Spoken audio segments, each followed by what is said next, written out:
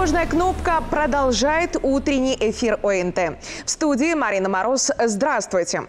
Когда весеннее обострение, вперед весны пришло. В столице мужчина с топором напал на фельдшеров. В Гродно еще один чудом не сломал шею пенсионеру. Совершенно трезвый, адекватный человек. Прошу, если что, помощи предоставить адвоката.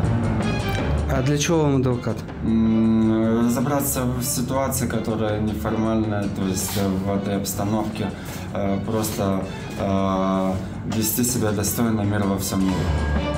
Этому мужчине 33. Спецбригада медиков должна была доставить его в РНПЦ психического здоровья. Фельдшеры попросили лежащего на кровати человека встать и пройти за ними. Эта версия официальная, но как увидел ее пациент? Приехали э, непонятные мне люди, испугали меня.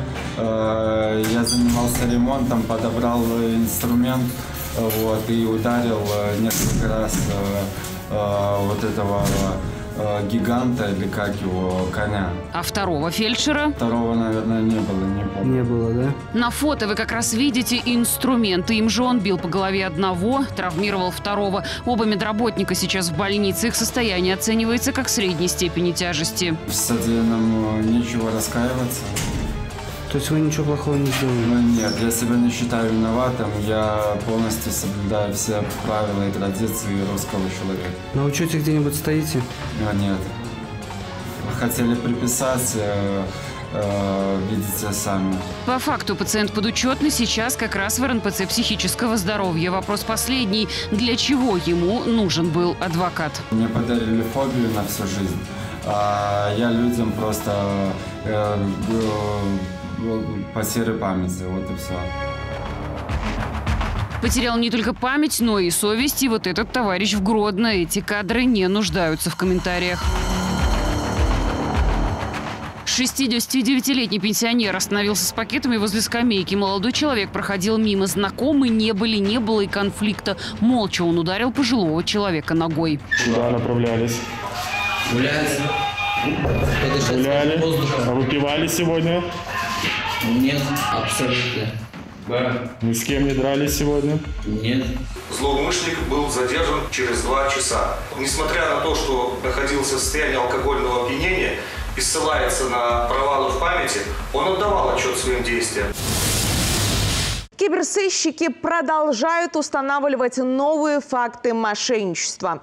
Есть новые жертвы аферистов. 71-летняя пенсионерка в Слуцке поверит фальшивому сотруднику Департамента финансовых расследований. Он убедит ее перевести накопленные деньги на безопасные счета. Сначала женщина отправила аферистам 38 тысяч рублей. Потом она сдала ломбард золото и полученные деньги тоже перевела аферистам. Общей суммой она лишилась 43 тысячи рублей. Еще на 48 тысяч рублей развели ДТП мошенники столичного пенсионера. В милицию постфактум уже позвонит его дочь, которая якобы и попала в аварию. Милиция, чем помочь? Здравствуйте, мой отец. Он отдал 15 тысяч долларов наличными Когда отдал? в сумке. Вот э, какое-то время назад, небольшое. Пришло сообщение, откуда забрать, куда привезти. Вышел мужчина пожилой, отдал мне сумку девушке. Забрала посылку, расплатилась и все. Что находилось, я не знаю. Но воровать продолжают и оффлайн. Велосипеды, электронные сигареты и даже свиней. Представлялся соседом, проникал в чужие подъезды, угонял велосипеды, похищенные сдавал в ломбарды и продавал на рынке. На что тратил деньги?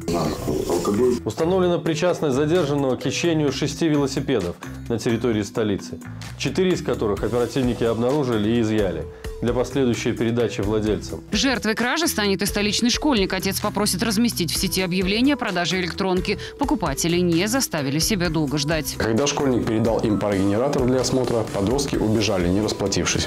Сотрудники милиции по подозрению в грабеже задержали троих 15-летних минчан, учащихся столичных школ.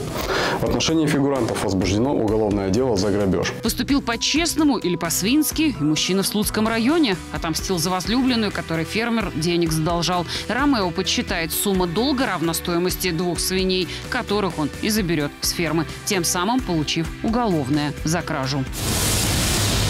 На сегодня все. Будьте бдительны и берегите себя.